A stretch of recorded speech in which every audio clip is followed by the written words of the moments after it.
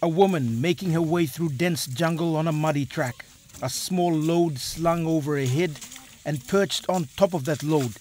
A child oblivious to the hardships his family has to go through every day. This is the reality of life for people living in Josephstaal in the middle Ramu district of the Madang province.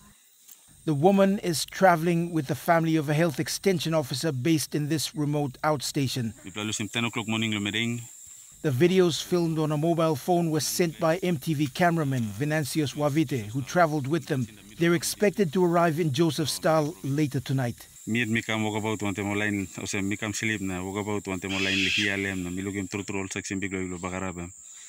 Just to go to Madang town, all need log all go transit transit go silip kirap lol place go and then lucky PMV come come up or similar kalab lo karana go lo town but suppose no got they'll have to sleep at truck stop wait him car again just mothers with kids sick people lo hap lo sim service lo town people are dying along the way just Last week before the trip, we spoke to Patrick Angrai, the health extension officer from Josephstaal. He said very few people want to work there. It is, for the health workers and teachers, an unattractive location for those with young children. The Joestal Health Center is level 5. I'm supposed to get 32 pla workman according to the National Health Service Standard. Because of the isolation blongem or remoteness blongem, nobody wants to go there. after five hours of working walking nam na mi bla kama blom bla place we mi bla kama blom bla place at least mi lugi garen house line. Am line walk about yet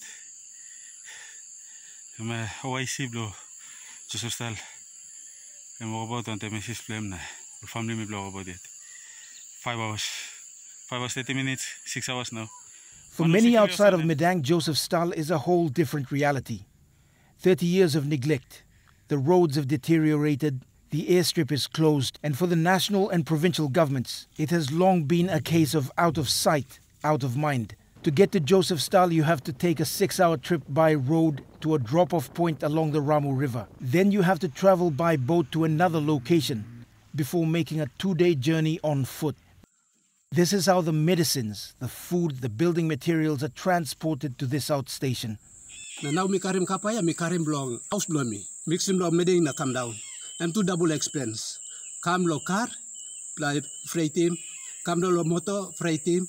Na now bla by uh, man i karim. if the road access am come through lo all Joseph Stal emba help him all big time straight triple basic uh, government services le me health education the road if the road come on lem lo Joseph Stal em service ba kami sa lo side lo health na education lem no kat um, all teachers now on lo primary school ha because all to all pani mahad lo go kam lem they need services to be around where all lo teach lem na stuff lem Between 2013 and 2016, the Catholic Archdiocese took on the responsibility of rehabilitating government facilities in Josephstaal.